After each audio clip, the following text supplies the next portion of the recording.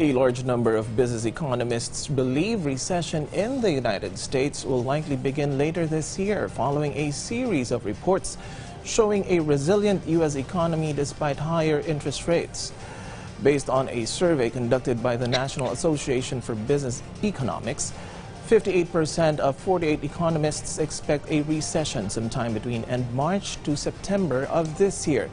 Economists are expecting a delay in downturn as the U.S. economy remains robust, as shown in recent government reports including January's jobs data, wherein employers added more than half a million jobs. Unemployment also dropped last month to its lowest level since 1969.